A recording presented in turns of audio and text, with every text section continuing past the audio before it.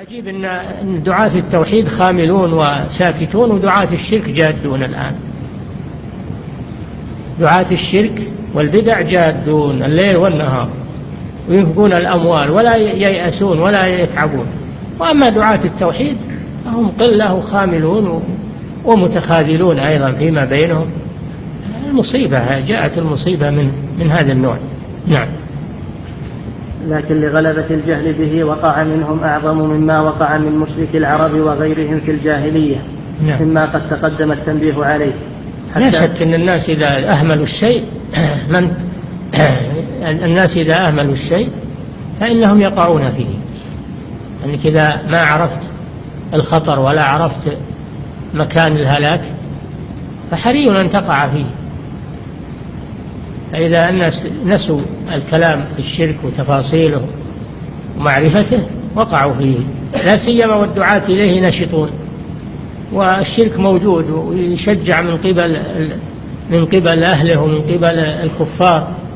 الكفار الآن يدعمون دعاة الشرك دعم هائل يدعمون الفرق الضالة ودعاة الشرك والبدع تدعمهم الدول الكبرى دعما هائلا.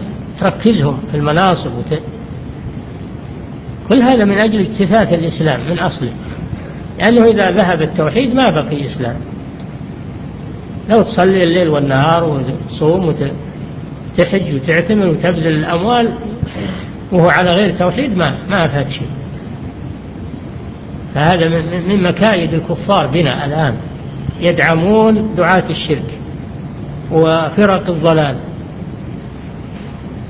واللي يدعو إلى التوحيد يسمونه إرهابي ولا يسمونها متطرف ولا يسمونها أصولي وينفرون منه ولا يسمونه خارجي. اللي يدعون الإسلام يسمونه خارجي من الخوارج. والكفار يسمونها متطرف وصولي إلى إلى غير ذلك من الألقاب للتنفير من دعاة التوحيد ودعاة العقيدة. لكنهم يدعمون أهل الضلال دعما هائلا ويركزونهم باسم الإسلام وباسم هدم الإسلام. نعم. حتى أن كثيرا من العلماء في هذه القرون اشتد نكيرهم على من أنكر الشرك الأكبر. شوف نعم. هذا كلام الشيخ رحمه الله. وفي القرن الثالث عشر. في وقته اشتد نكير من يسمون بالعلماء على دعاة التوحيد ويسمونهم بالخوارج. ويضللون دعاة التوحيد. هذا موجود في كتبهم الآن. نعم.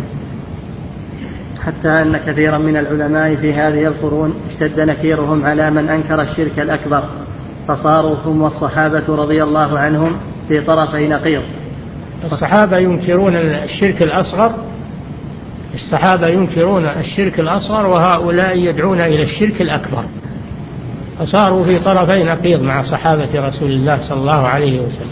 هذا حذيفة بن اليمان سمعتم أنه قطع الخيط وقال وما يؤمن أكثرهم بالله إلا وهم مشركون مع أن تعليق الخيط من الشرك الأصغر.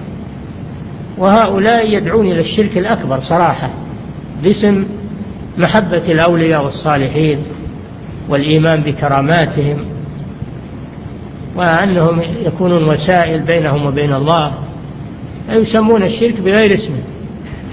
نعم.